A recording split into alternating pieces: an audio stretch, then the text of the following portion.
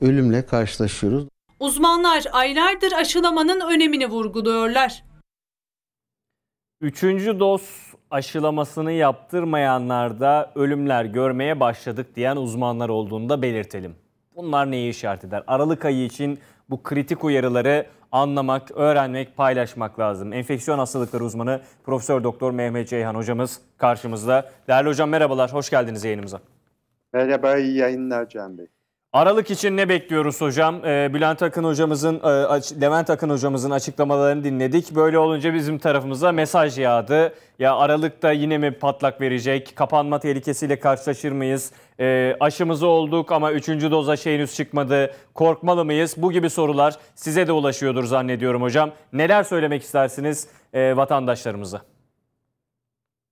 Bunu zaten haftalardır söylüyoruz. Hı hı. Ee, bir Avrupa'da dördüncü dalga bitmeden beşinci dalga başladı diye geçen sizin programınızda da Doğru. E, konuşmuştuk.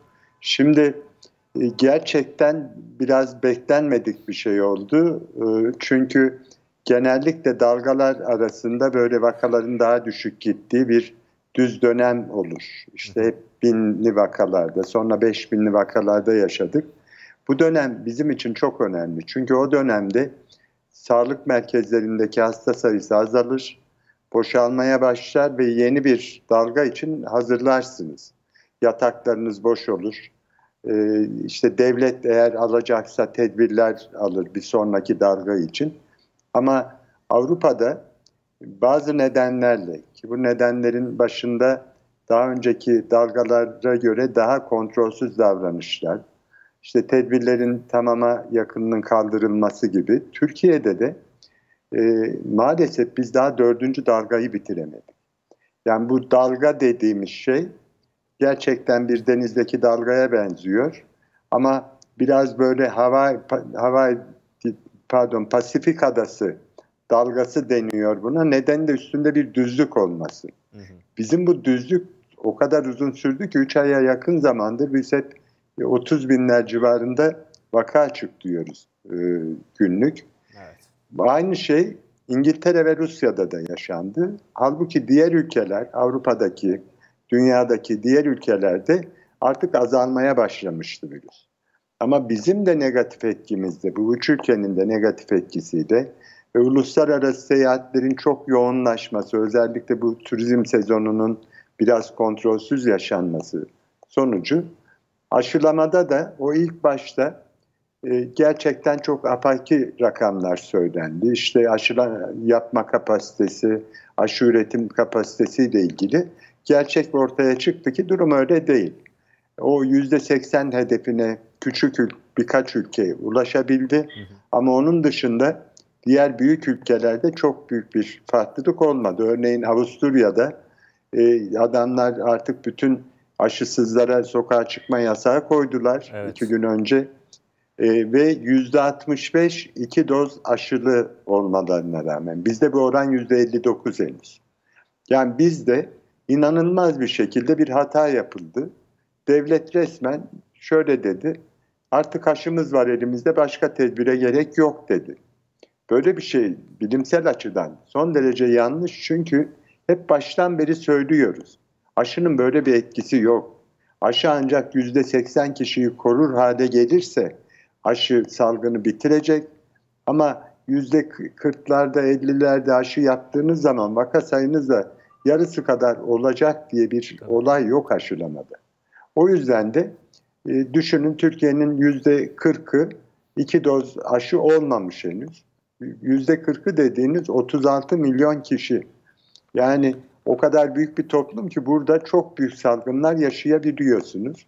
Biraz önce Levent'in de dediği gibi evet yani e, hastalanmıyorlar aşı olanlar, ağır hastalık geçirmiyorlar, ölmüyorlar ama virüsü taşıyorlar. Bunu çok uzun zamandan beri biliyoruz. O yüzden de burada çok yüksek oranda aşılama yapmamız lazım ama biz maalesef öyle bir noktaya geldik ki günlük aşıladığımız sayı iki doz aşısını olup zaman geçtiği için e, bağışıklığını yitirenler kadar bile değil. Yani bizim her geçen gün e, giderek o %80 hedefine yaklaşmamız lazımken tam tersine uzaklaşıyoruz. Şimdi böyle bir ortamda hiç şüphesiz Türkiye'de daha dördüncü dalganın işte inişine belki geçecek. Vaka sayıları bir miktar 20 binlere falan inecek. Ama bu şekilde eğer devlet hiçbir kısıtlama önlemi e, almazsa, vatandaşlar bu düzeyde bireysel önlemlere uyarsa ve de aşılama hızımız bu şekilde giderse hiç şüphesiz biz de tekrar bir artış dönemi yaşayacağız. yaşayacağız. Bunun aralık olmasa da yaşayacaktık zaten bunu. Ama aralığın şöyle bir özelliği var. İşte havalar soğursa eğer daha çok kapalı ortamlarda bir arada bulunacağız. Doğru. Ki bakın hiç olmayacak bir şey, olmaması gereken bir şeydi. E, tedbirler kaldırılırken otellerde yüz yüze toplantılar, buna işte e, dernek toplantıları, parti toplantıları, hatta hekimlerin kongreleri yüz yüze yoğun bir şekilde başladı.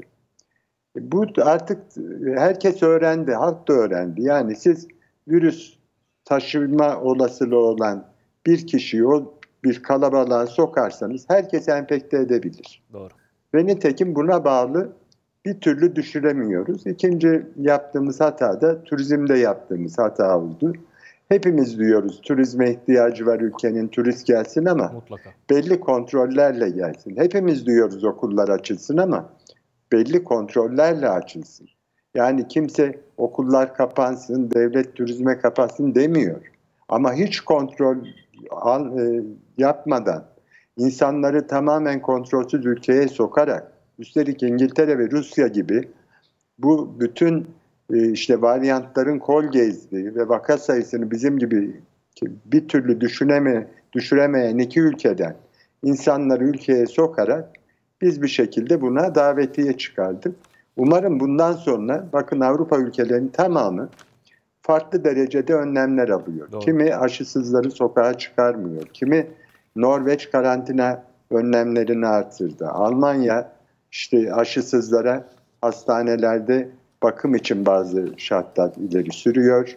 Her ülke kendi çapında bir şeyler yapıyor. İşte Çin'e de siz söylediniz. Evet. Ama bizim gibi hiçbir şey yapmadan böyle devam edelim bakalım ne oluyor derseniz ne olacağı belli yani. Bunu işte bir görmeye, beklemeye gerek yok. Şimdiden görebiliriz ne olacağını.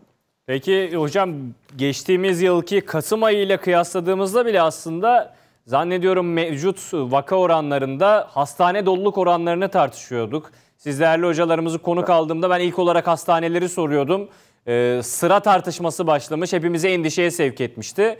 Bugün herhalde aynı vahim boyutta olmamamızın en büyük e, değişkeni aşı. Yanılmıyorum değil mi? Şimdi şöyle doğru tabii aşılananlar en azından ağır hastalıktan korunuyorlar. Hı hı. Yalnız şöyle bir şey var. Hiçbir ülkenin hastane tedavi kapasitesi sonsuz değildir. Tabii ki. Yani öyle bir noktaya gelirsiniz ki vaka sayılarınız işte 60 binleri 70 binleri bulduğu zaman Türkiye'nin de sağlık sistemi bunu kaldıramaz. Şimdi burada en büyük yanlış şu zaten salgın kontrolünden yanlış bir anlam çıkardık biz. Sürekli devlet de biz e, halka işte bizim şu kadar hastane yaptık, şu kadar hastanemiz var, yoğun bakım yatağımız var, solunum cihazımız var diyerek salgını hastane merkezli kontrol etmeye kalkınca edemiyorsunuz. Salgın böyle kontrol edilmez.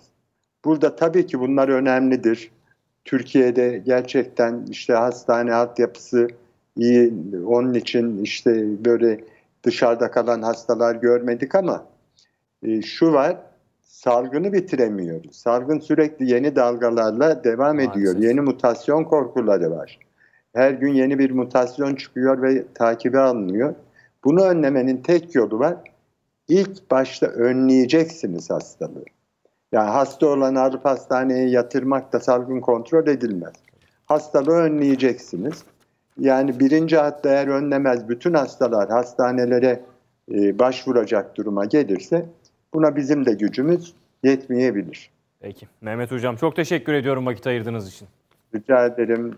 İyi yayınlar diliyorum. Sağ olun hocam. Enfeksiyon hastalıkları uzmanı Mehmet Ceyhan'la konuştuk efendim. Aralık uyarısı bugün bilim kurulu üyesi Levent Akın'ın yaptığı açıklamalar Türkiye gündemine girince değerli izleyicilerimiz bir süredir konuşmuyorsunuz kış senaryolarını.